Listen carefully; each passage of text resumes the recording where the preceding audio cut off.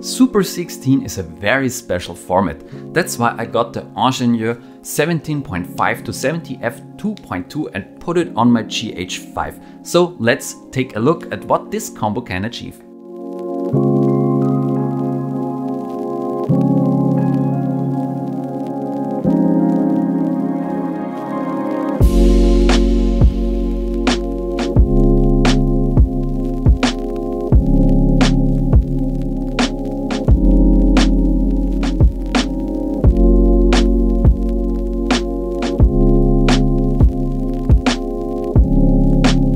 This lens was made for the ARRI standard mount, which is a very, very old mount. I couldn't find anything about the history of this lens and I got it very cheap off eBay, but nowadays it's only available for $900 or more, which is quite a lot. So let's take a look if this lens is worth it. The build quality is quite something. Let's just say I might not be the last owner of this lens. It hardly shows any wear and tear. Of course, it's a very old lens and it has some bleached out spots because of the sun. It also makes for a very, very small setup and that's the beauty about small formats. They can give you great zoom ranges with very fast apertures like f2.8 and still maintaining a very, very tiny footprint. This lens became quite popular when the Blackmagic Pocket Cinema camera came out. Philip Bloom also shot a video on this lens. And since then there weren't much new Super 16 and 1 inch sensor cameras. What comes to mind is the digital Bolex, the Ikonoskop camera, the ribcage backbone for RX0 uh, modification and the Zcam E2G. But many new cameras can shoot Super 16 in a crop mode like the GH5 and also, all C cams, I think have a Super 16 mode and also the red cameras. The GH5, as I already said, can also shoot in Super 16. You have to engage the X-Tele converter mode in 4K and this way the sensor crops in to the native 4K resolution in the center of the sensor. If you want to shoot with this lens on the full sensor, you get quite some vignetting and if you engage the X-Tele converter mode, the vignetting is gone and the lens looks quite nicely. What's great about the GH5 is that you can use the internal image stabilization.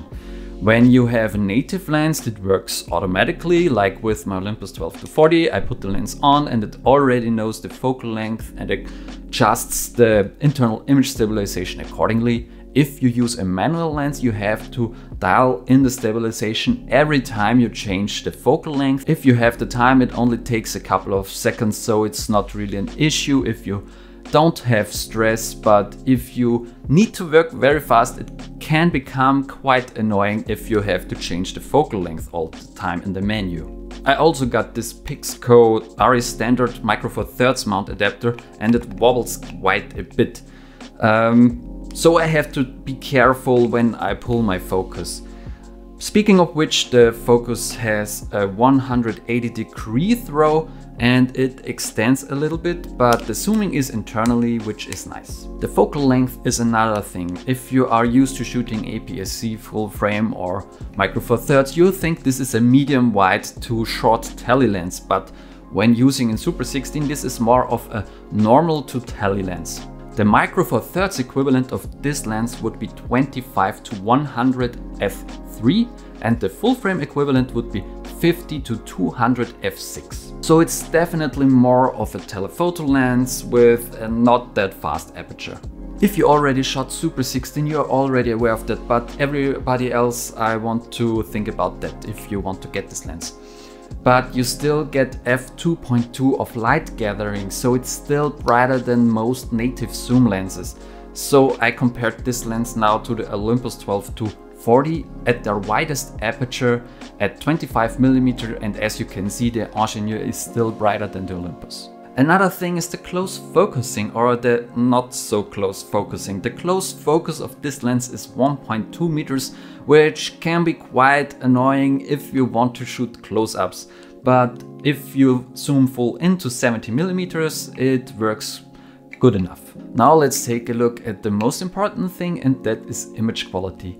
I really like the vintage look of this lens. It's not the sharpest, but I like the creamy bokeh and the soft quality of this lens.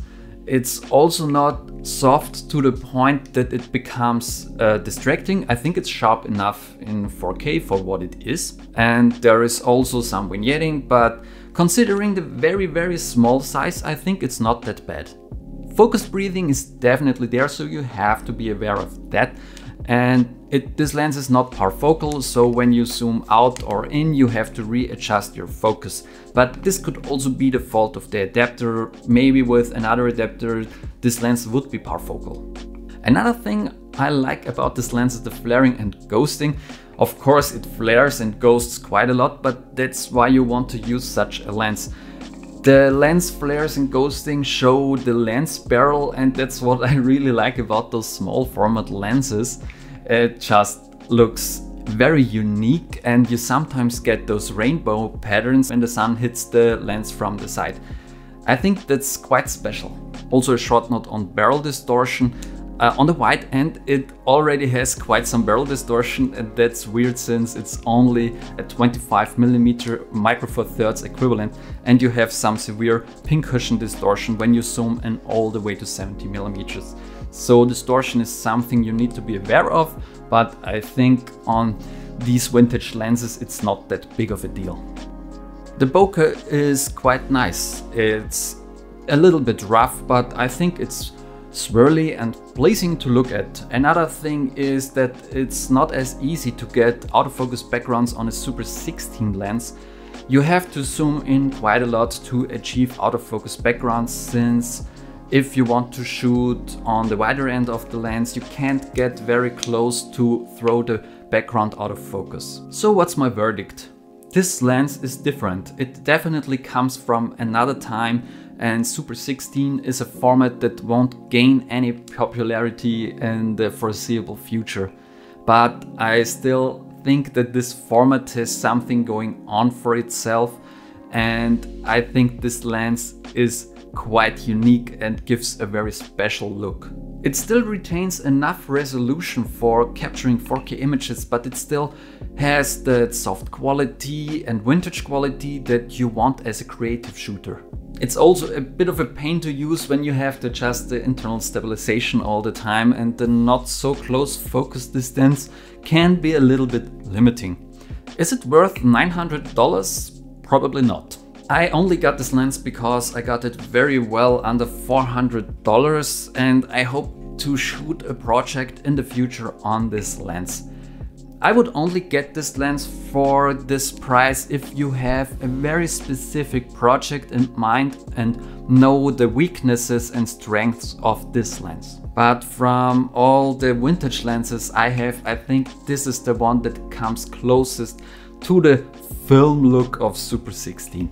So I hope this short review of this special lens was useful to you and if you want to see more please subscribe to this channel and let me know in the comments down below if you are interested in lenses like that. And I hope you have a nice day and create something extraordinary.